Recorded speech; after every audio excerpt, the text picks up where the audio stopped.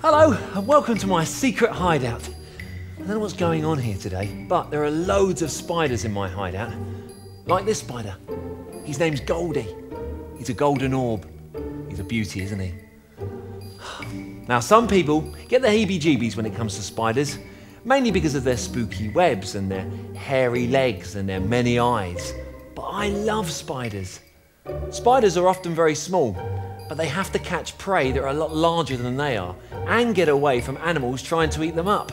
So they need lots of tricks up those eight sleeves. Some have big fangs, some have really sticky webs, and some kick spiky hairs off their body to keep animals away. There's another spider that definitely belongs in my hideout because it loves to hide, especially in tunnels. It will stay in the tunnel and then it will jump out in a surprise attack. The question is, are you brave enough to meet it? Trapdoor spiders hide in little tunnels behind trapdoors. And if they feel anything small walking past, like a beetle, they jump out to grab it. And did you know that there's a spider that's just like a cowboy? Yeehaw! I'm a cowboy spider! it's called a bolas spider.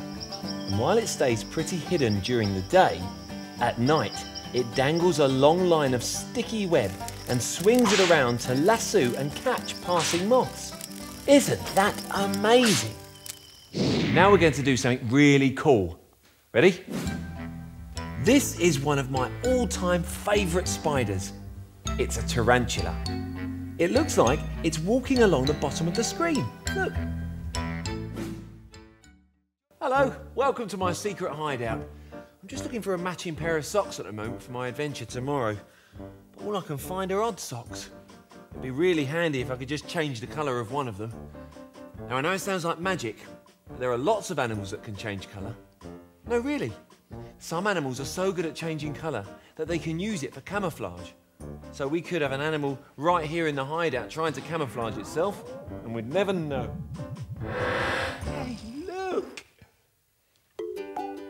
You know what this is? It's a Yemen chameleon. Now, these guys are masters at changing colour. But they don't just try and camouflage themselves, they change colour to communicate with each other. And chameleons aren't the only ones. Come on, let's take a look in my bucket.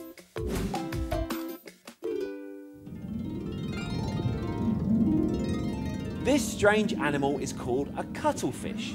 They can change colour and they can make funny patterns. They do this to warn other cuttlefish away or even find a mate. Hey, get out of here, man. No, not you. You can stay, man. Another master of the underwater world is the mimic octopus. Not only can it change colour, but it can also change shape. Come on, let's take a look. Here it is pretending to be a flatfish swimming across the sand. I can't be an octopus, I'm all flat. See? And now it's pretending to look like a sea snake. Nothing to see here, uh, just a sea snake going about its business. Definitely not an octopus. I'm a sea snake. You see? Snake. Oh. That's better. Now, where was I? Oh, yes, finding a matching pair of socks for tomorrow. Hey, how did you get down here, little fella? Oh, look! Our chameleon friend has taught the socks how to change colour. I've got one sock, two socks, a pair of socks. Perfect. Ah, hello, I'm Andy, and welcome to my secret hideout. I've just come back from one of my adventures, and I've got something in my shoe.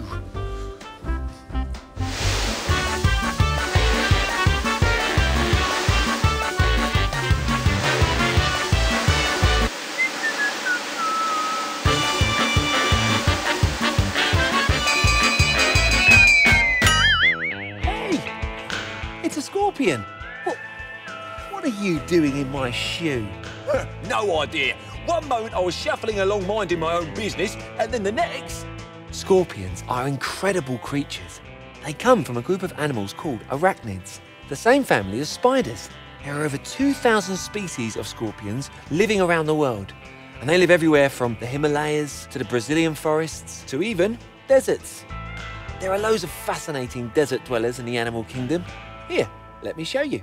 This is the Namib Desert in Africa. Oh, look, it's a pompilid wasp. She's looking for somewhere to lay her eggs.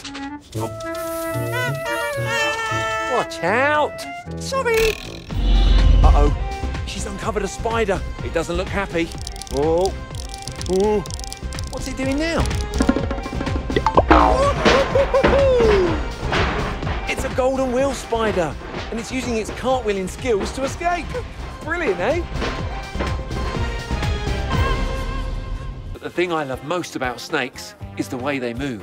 Most snakes use something called a serpentine movement. That's when they move in an S shape. They use their scales to push themselves along rocks and uneven ground. Can you think of any animals that move in unusual ways? Here are a few right now. It's a veined octopus from Indonesia. Oh no, it's being followed by that hungry flounder. Shh, don't tell him I'm here. I'm being super sneaky. I'm keeping out of this one. The veined octopus doesn't have any special armor to protect himself, and he isn't quick enough to get away from the flounder on his own. Lucky for him, he is very clever. He's using the coconut shell as a shield. Isn't that amazing? Now he's found another half of the shell. Watch this. That is a very clever way of getting around. They'll never catch me now. Oh, now this is something really special. It's called a nautilus, and it lives deep under the water and only comes up to the surface of the ocean at night time to feed. They travel around using special pockets of air inside their shells, and they shoot out jets of water from the tube. Look! Amazing, eh? The only problem is, because it travels shell first, it can't see where it's going. Wow, what incredible ways of getting around. Us snakes are the most graceful, though. Can you think of any interesting ways of moving? See you next time. It's a gecko. There are over 2,000 species of gecko on our planet and still new ones being discovered. But hi, I'm the most handsome, yes? This one is called a crested gecko. I think I'll call him Gordon. Hello, Gordon. Now, most geckos are carnivorous, which means they'll eat insects and small mammals, but this one is omnivorous, which means they eat fruit as well as insects. But my most favourite thing about geckos is their superpower.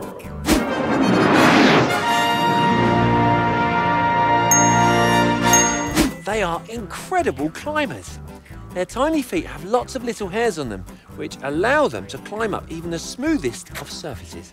Come on, Gordon, on you go. Look at that. There are lots of great climbers in the animal kingdom. Take a look at these. It's a bonobo mother and baby. The mother is building her and her baby a nest to rest in. Mum! Mum! Mum! Mum! Charlie, will you please sit down? Even from a young age, apes are incredible climbers. Unlike monkeys, who have tails to hold onto branches with, they've got strong arms and legs to hold on tight.